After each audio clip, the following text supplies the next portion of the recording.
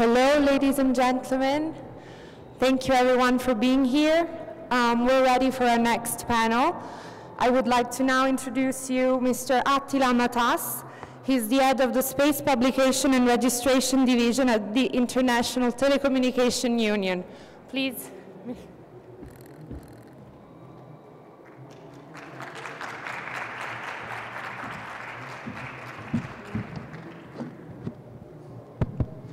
Good afternoon. We are just a couple of minutes up noon, so we are afternoon.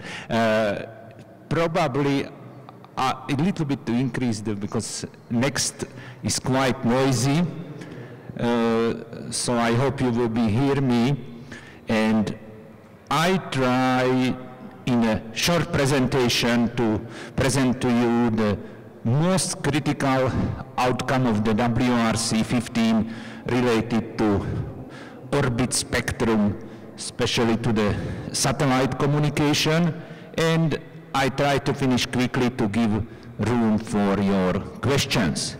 So the World Radio Communication Conference was held in Geneva last year in November. And just for you to understand that the World Radio Communication Conference is the only one ITU conference which is authorized to modify the ITU radio regulation, which is a legal bindings document and which is an obligation to the member states to follow it through the member states to the satellite operators through the licenses. So in fact, the radio regulation is mandatory also to the satellite operators. It was a quite big conference, most 4,000 participants, 162 countries, so you can read the outcomes on the link which is on the presentation. It was covering everything from mobile broadband, emergency communication, leap second, aeronautical mobile, fixed satellite, climate change monitoring, weather forecast. So all the aspect of the frequency spectrum was covered there. One of the most important thing, probably you heard about the disappearance of the Malaysian flight MH370, where the flight went out of the radar tracks, which is normally around 160 miles, and after then it's disappeared somewhere. Based on this tragical accident and based on several other tragical accidents of the disappearance of, of uh, aeroplanes, the ITU Plenipot conference instructed in 2014, just one year before the WRC, as a matter of urgency, to consider and find a solution for the global flight tracking without any restriction to cover 100% territory of the world. So WRC find a solution on the satellite-based global flight tracking. So the satellite now authorized to receive the ADSB signals from each aeroplane and after them to report it to the ATC controllers. So the resolution 425 is authorizing now to use the ADSB for global flight tracking, giving the surveillance, real-time surveillance practically anywhere. We are going now from 30% terrestrial coverage, I am repeating again. Today the aeroplanes can be trackable 160 miles by the uh, terrestrial radars and after that it's up to the captain instructions if he will report or not report following all the rules. But now with the GFT, it will be a global flight tracking, doesn't matter if the plane is middle of the Pacific Ocean, Atlantic Ocean, wherever the global flight tracking will guarantee the coverage. The next agenda item which created also quite big uh, interest and noise was the regulation how to do the CNPC, that's why the control and non-payload communication for the drones. We call the drones the unmanned aircraft systems in the ITU regulatory language. And I am stressing that this CNPC and drones operation in the non-segregated airspace. So we are talking about the non-segregated airspace where this UAS will fly like aeroplane in the non-segregated aerospace and there there will be a satellite component of the of the drone. So in fact the CNPC which will operate under ICAO standards uh, and uh, UAS will be in fact the Earth station in motion which will be connected to the uh, to the satellite through the communication links so the operator can be anywhere in the world and drone can be on the other side of the world and all the communication will be through the satellite uplink and downlink guaranteeing the CNPC channel of the uh, control under ICAO rules. So it's a quite complex resolution and I invite you to study it quite deeply if you are interested on it. The next agenda item again, everything is now in motion. Everybody of us, where we wish to go, we go for holidays on the cruise ship, we travel with a train, we travel with a bus, we would like to have a broadband. Broadband have to be everywhere. So now there was a request and uh, WRC responded in the resolution 156 with a solution on the Earth station while in motion where the Earth stations, when they are on the service area of the GSO, GSO satellite, when they remain in the envelope of the service area, may be used for the broadband communication in the fixed satellite service. This is also quite, quite important, quite important item when up to now, practically the broadband was only the terrestrial broadband and certainly in several parts of the world when there is no broadband, terrestrial broadband, the uh, Earth station while in motion is a very important aspect. The other thing, because we are on the astronautic congress, it's a very important thing also. It's a small thing, but very important that up to now, the EVA, the extravehicular activities in the space were limited to five kilometers. Nothing more. Now WRC uh, accepted the request from the scientific community, NASA, ESA, and other agencies through the proposals to remove the five kilometer distance limit and use the frequency band 410, 420 megahertz for the distances even greater as five kilometers for the EVA operation. Other item which was on the WRC, and it's quite funny, probably you are surprised that WRC is dealing even with the leap second.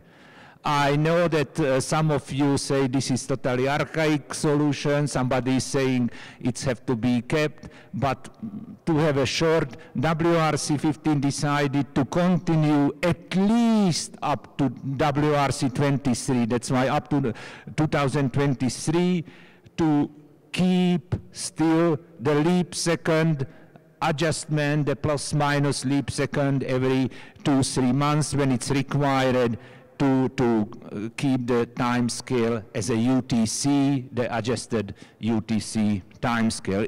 It's a small item, but it's created extremely hot discussion practically through the whole WRC because the timing, the precision, who, what type of timing, adjustment every three, four, six months, it's creating really absolutely serious problem for synchronized networks which depends on the absolute correct time.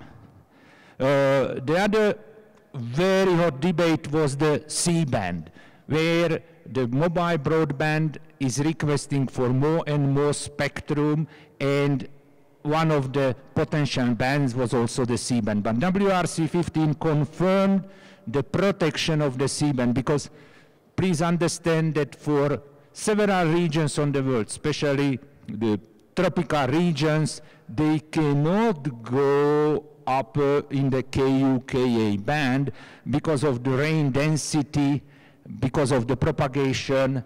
For several regions on the world, the C-band is absolutely vital. There is also a heavy investment.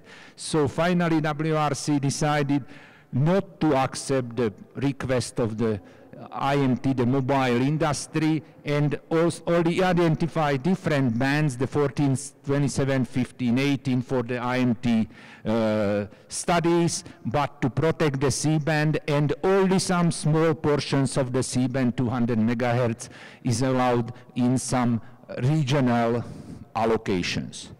Uh, other very important thing of the WRC is to decide to speed up the processing and remove the six months API processing. So as of 1st of January, the coordination process of the satellite is starting from the coordination request. There is no more API, six months delay. So a coordination request notification, so the process is much faster. WRC 15 introduced resolution 40, which is in fact uh, tracking the orbital positions when the satellites are coming back after suspension, bringing to use uh, to avoid any speculative misuse of satellites of other country, uh, ghost satellite moving on the orbit, allowing to bring use and move away. So the resolution 40 is now requesting administration to identify the spacecraft which will be used with great, great details. In the same time, WRC uh, strengthened also the provisions which are related to the bringing new suspension and the maintenance of the master register when confirmed that the Bureau is authorized to verify from any publicly available sources if the system is realistic or no. And if the Bureau is requesting for clarification, administrations are obliged to respond to Bureau and tell details about their satellite system. They cannot stay silent on the satellite systems. Uh, now, subject for you. I hope the IAC will take note about this item. Uh, WRC with resolution 763 introduced a quite, quite important resolution requesting the ITU to study the suborbital vehicles because up to now in the radio regulations we have aeroplanes, spacecraft clearly defined, but uh, and there is a silent agreement that around 100 kilometer is the uh, boundary between uh, between the aeroplane and Earth's atmosphere and space. But with the suborbital flights, aircrafts which are flying close to 100 kilometers. There are some uh, vehicles which are flying on non-orbital trajectories up to 150 kilometers, returning back, upper stages, etc., etc. We have to make a definition what is the suborbital vehicle and to find frequency bands for this operation because the suborbital flights cannot use aircraft frequencies. The aircraft frequencies are well defined in the zones the aircraft's up to 30 kilometers, so if a suborbital flight uh, vehicle up to 100 kilometers will use aircraft frequencies, it will pollute in a huge area, creating harmful interference to the aircraft. But in the same time, uh, cannot use space frequencies because it's not a spacecraft. So it's necessary to define, and IT is starting to study and this item for the next four years period and we are very happy to invite you also with any inputs through your member states or if you are members of the ITUR study groups about the suborbital vehicles. Other item which is uh, also oscillating here on the IAC is the small satellites.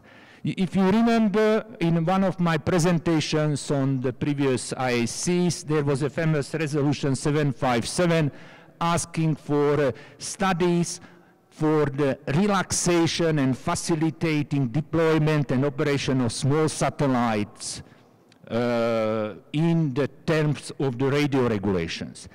I'm sorry to say the WRC 15 decision was that there is no need for a special treatment. And WRC 15 suppressed this resolution saying that CubeSat, small sat, whatever sat from 10 centimeter up to 1 meter, from 1 kilo up to 5 tons, can be geostationary or non-geostationary. If it's a non-geostationary satellite, as engineers, we cannot classify satellite by weight or size. We can classify satellite only by frequency, power, bandwidth, and especially services. What type of the service this CubeSat or small satellite will use. And after then, this service have to follow Article 5 and other provisions of the radio regulations.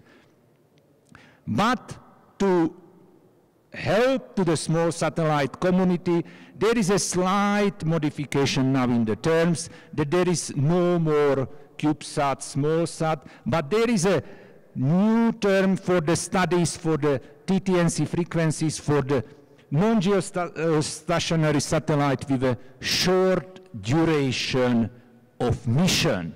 So they are typically three years mission where these satellites with a limited lifetime have still a problem to use the TT&C, which frequency bands. So now ITU is studying in the frequency bands below 1 gigahertz excluded amateur satellite frequencies, excluded the 144, 146, excluded the 435, 438 megahertz band. So studying an, another bandwidth band which can be used after then for the TT&C of these satellites.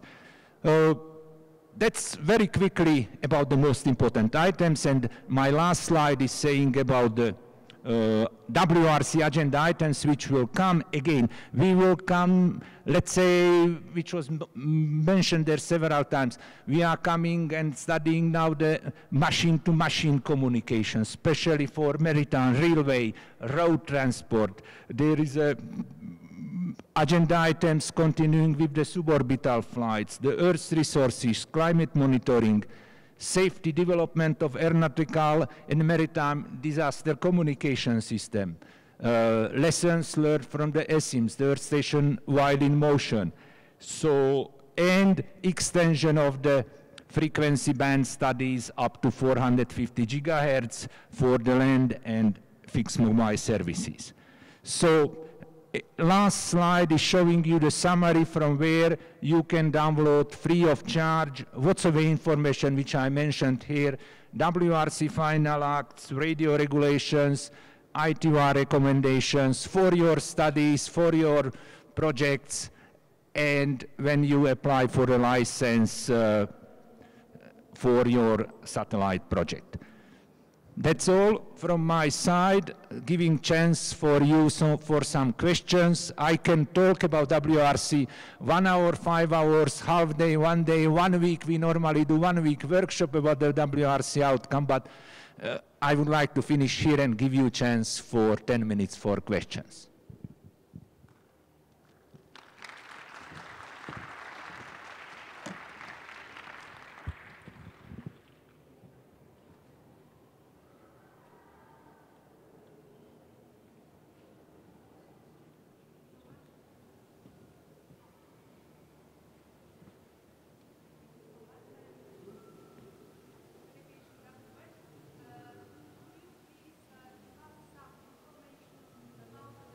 Of frequencies? The drones. Exactly. Yes, it was it was part of my presentation. If we go back, if you can load this, if you can load my presentation back, if they can load the presentation back.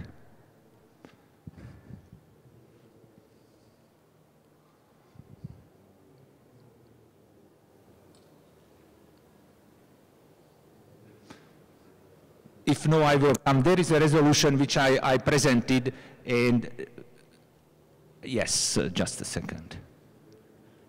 So this is the drones, resolution 153 of the WRC12 about the studies, and resolution 155 with the, oh, the resolution is one of the most complex resolution which were in ITU up to now drafted with 19 results. The frequency bands, they are all details I will provide to you after the presentation because there are segmented several frequency band in KU band, KA band, low KA, upper KA. So there are frequency bands for the drones from practically from 12 giga from the lower Ku band up to 30 giga in different fragmented frequency bands, which is authorizing the uh, unmanned aircraft systems. Okay?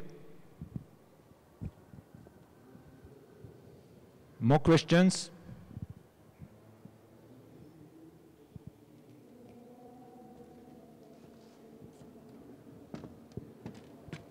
Thank you. Thanks, Attila, for this nice overview. I have basically two questions which are related to each other.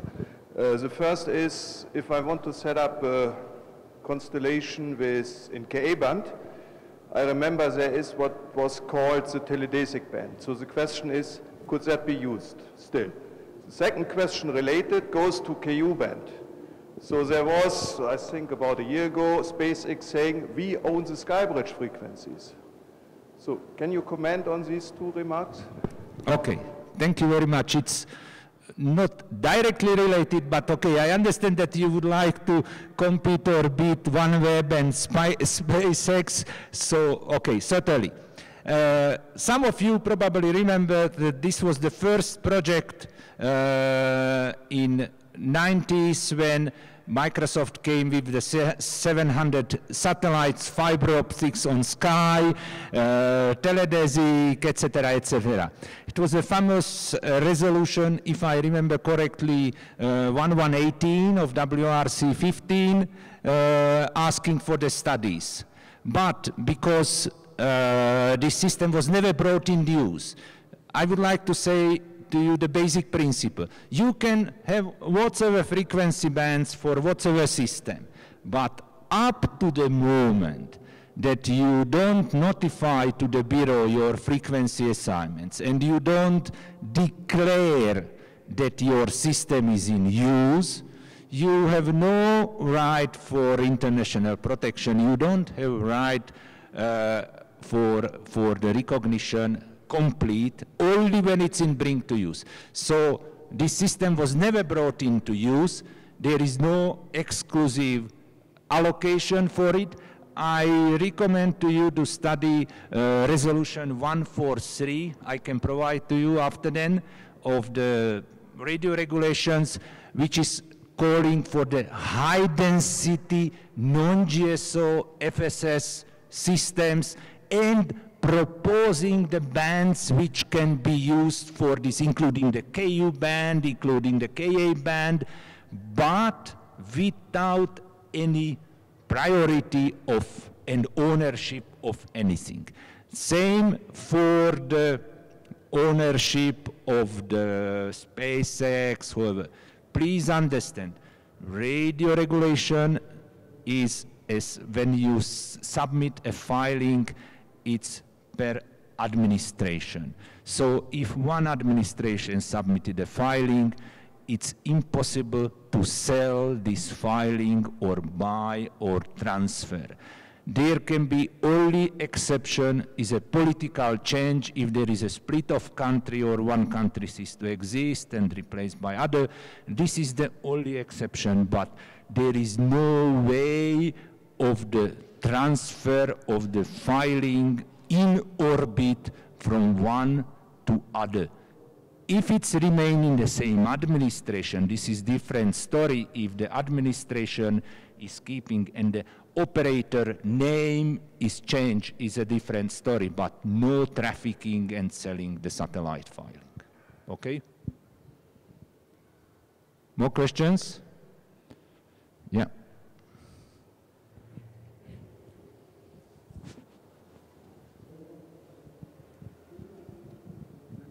Uh, thank you. Very comprehensive presentation. Uh, As a housekeeping matter, are these charts going to be posted somewhere? Oh, I hope yes. If no, give me your card. There is nothing secret. I can tell you the truth.